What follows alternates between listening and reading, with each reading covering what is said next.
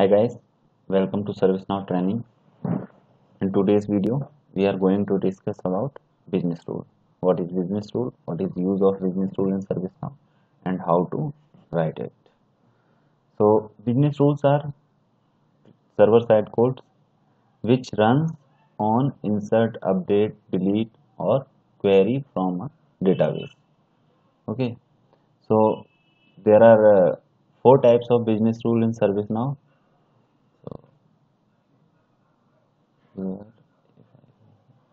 so four types are before after async and display business rule so there is a use of every type of business rule.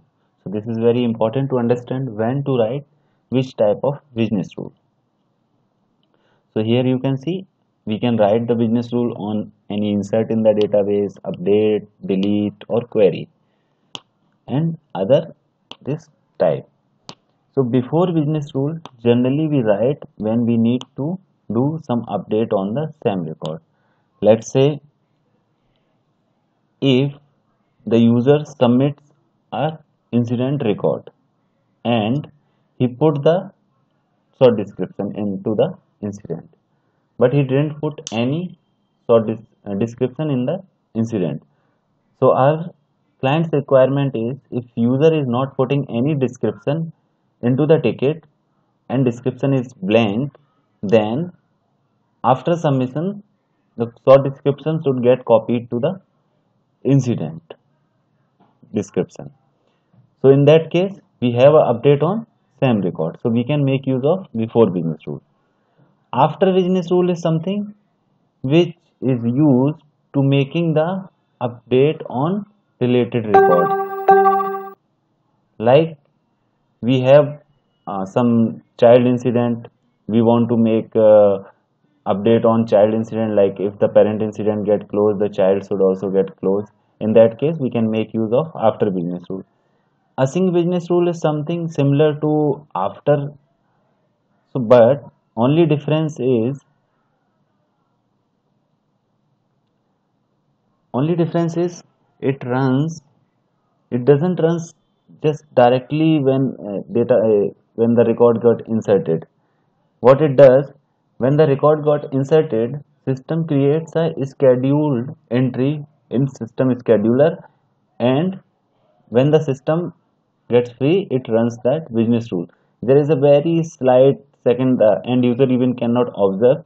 So for like triggering notification and all we can make use of async business rule. Display business rule is something it is used to send server side value to client side.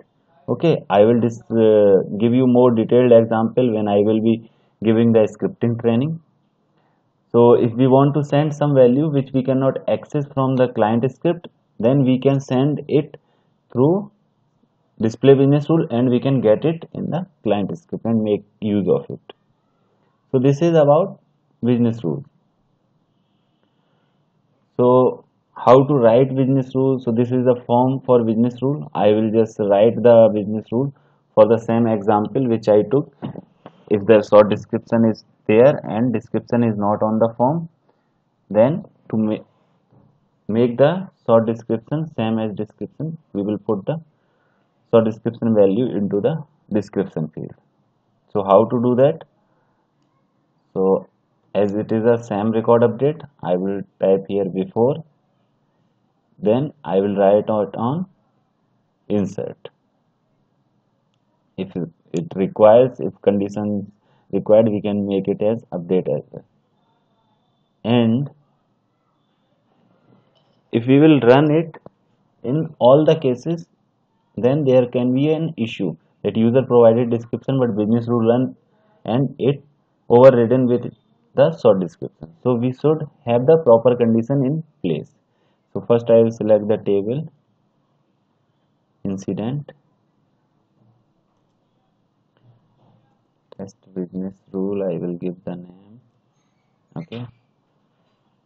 Then the condition is when the description is blank. So description is empty where is empty? Okay. So this is empty. So description is empty. And short description shouldn't be empty. So we should make the condition optimized so the business rule runs on proper valid conditions. So short description is not empty now it will run when description is empty and short description is not empty. Otherwise it will not run. Then what action I want to do? I want to set this I can sometimes I even didn't require to write the code. I can make use of actions and do the work. So I want to say short description same as sorry description same as short description. Okay now I will save this. In case of business rule I have no need to reload it because this is a server side code and it will run after the form submission. So I put uh, test short description business okay? I left the description as blank. I will save the form now. See? The description get populated with the short description. So this I did using actions. So now let's say I will remove this action. Okay? Again I have to insert one more incident. Incident dot list sorry dot form it's a system test. Test. New business. Rule okay.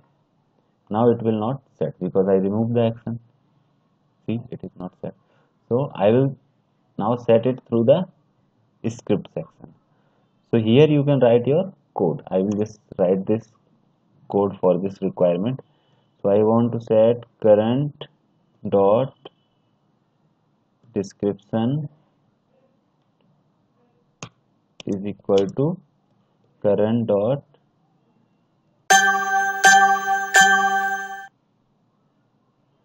current dot short description okay in case of before business rule never write current dot update because it will update the record as it is running before saving. So now I will again insert one more incident ticket. Form